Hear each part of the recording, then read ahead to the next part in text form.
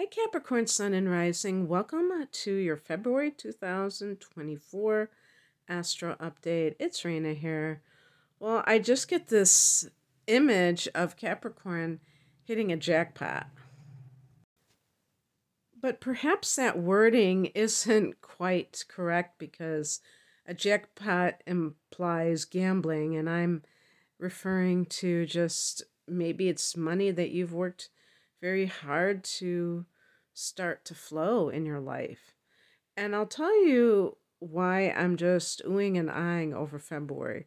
First of all, February is the first month of the year. Of course, you know, we just started 2024, but it's uh, completely free of retrogrades from all planets. And in January, uh, Mercury went direct on the first, and so you could say after that it was pretty smooth sailing or clear roads ahead. But but Uranus is not retrograding and or going direct until the twenty seventh, and I'm saying it in in the um, present tense or the future tense because I'm recording this in the second week of January, and a lot of you will be listening then. So I want to uh, call your attention to what I think is a very phenomenal event, and that is that on the 20th of January,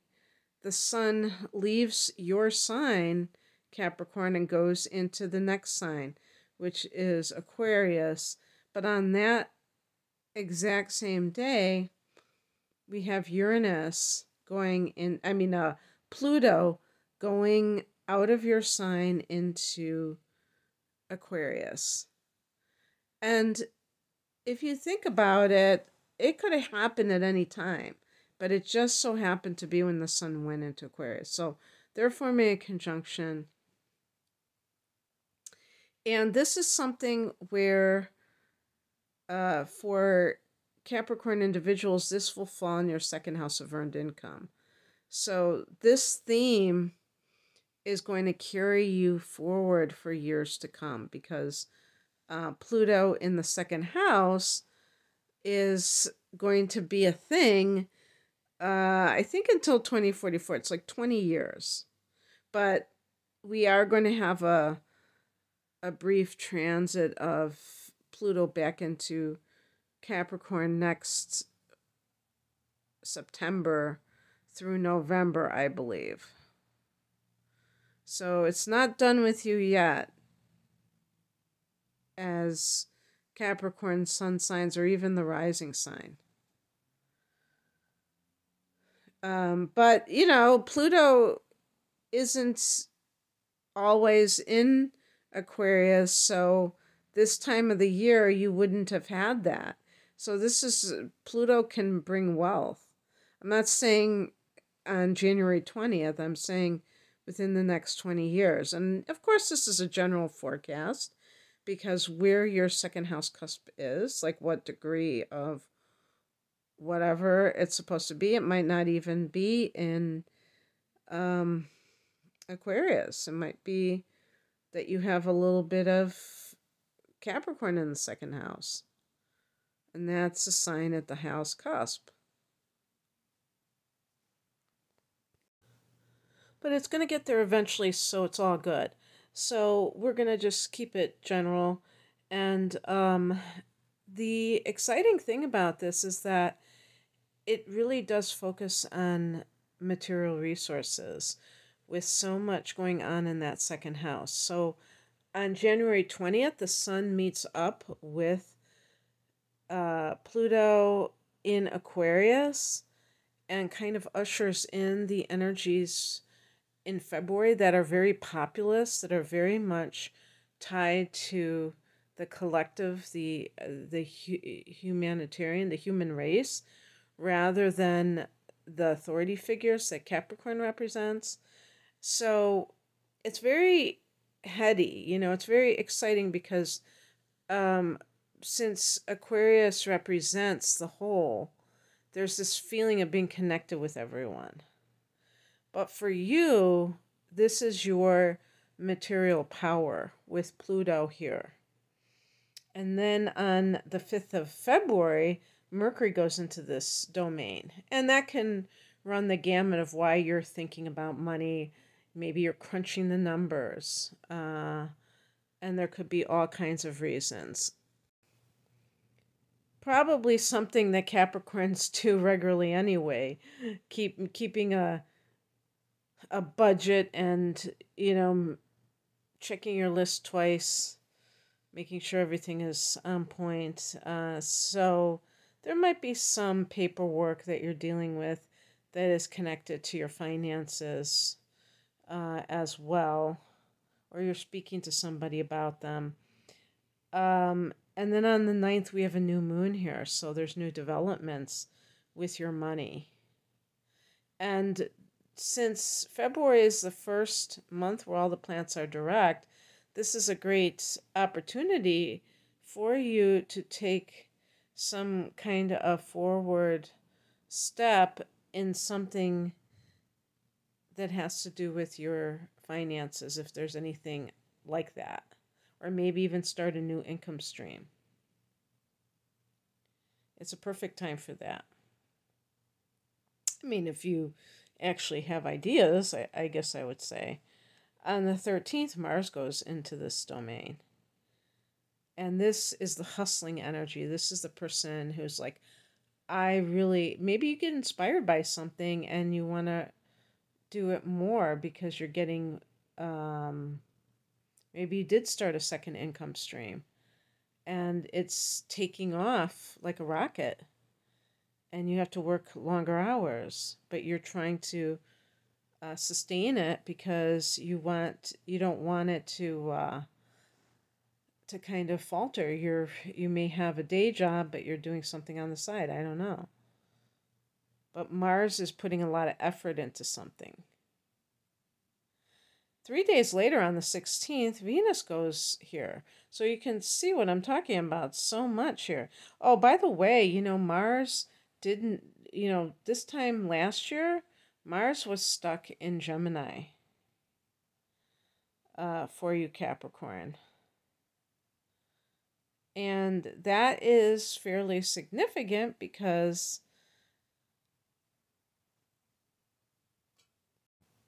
this is the sixth house. That is the sixth house, uh, Gemini for you. So you might have been either you had conflicts with coworkers or you were just working overtime. So that might have been um, the first stages of kind of paving the way financially for the harvest that you might be receiving now. But you didn't have Mars here because it, it this is the first time it's been able to get here. I don't know if it's been two years or maybe a little bit less than that, but that's pretty impressive. When Venus comes here three days later, uh, Venus isn't a, Venus rules the second house. Venus is the attractor. So Venus is passive in a sense. Mars is very active. Um, I personally believe that when people are hearing about manifestation, for instance, that the passive side of things is emphasized. And I feel that that is unfortunate because I don't feel that that is how life works. I feel like it is much more um, the case that, I mean, well, it's actually both, I, but taking action is definitely a part of it. Not just waiting for somebody to drop in your lap. But on the other hand, there certainly are people out here who they work three jobs and they're just like constantly working and they might not even have a real game plan. They're just kind of trying to, they're in survival mode. And they think that that's what life is about. And I guess you could say from their vantage point that that's true. But they're creating that because they're giving attention to the idea of survival. Uh, obviously, there are people, uh, all of us may at one time or another have to work um, a lot harder than we want to because we just don't feel like we have any other options. But the the key is to exert effort in a way that is what you want to do. That would be the ultimate. Exerting a lot of effort in something that you really have no connection to, but you're just going through the motions, that is inconsistent energy. It's not compatible with what you want to accomplish. So anyway, um, I do feel like this is going to be a good money mo- month um, for you in general because other factors may, you know, kind of uh, suggest other things are going on with you that you may not be doing what I'm saying you're doing. It might show up in a different way. But Venus, because Venus rules the second house, Venus is the expert of this area. On the 18th, the sun goes into Pisces, and five days later, on the 23rd, Mercury goes into Pisces. For Capricorns, Pisces is your third house, and this is the house in astrology that is ruled by Gemini and deals with the latest news. It can be like journalism, writing, uh, social media, internet based stuff brothers and sisters, aunts, uncles, cousins, when it comes to family members or neighbors, your local area, I should say. So, with Mercury, the ruler of this house in its own domain, this could be that full moon the next day could still have that um, influence. And the interesting thing about it is that since Mercury is in Pisces,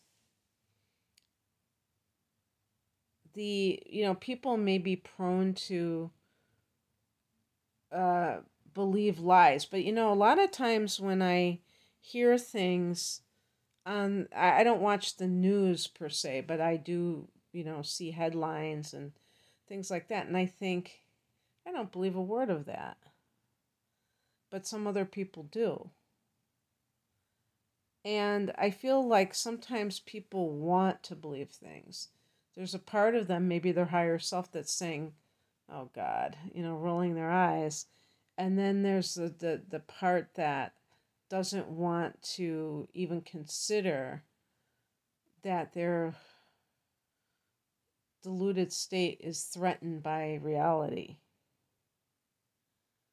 So we're going to see something going on maybe news wise that they're trying to mislead us and it could have a supernatural event. There have been conspiracy uh, realists who have talked about how um, they're going to have an alien invasion in 2024. Well, they've already had a couple of news stories